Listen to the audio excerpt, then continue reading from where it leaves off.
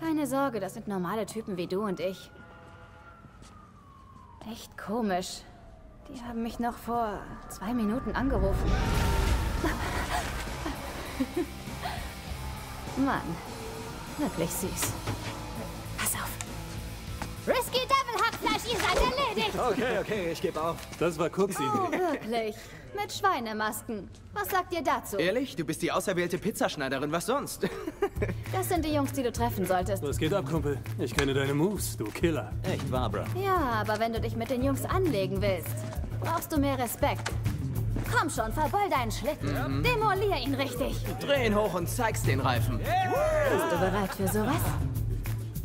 Gib her. Setz dich.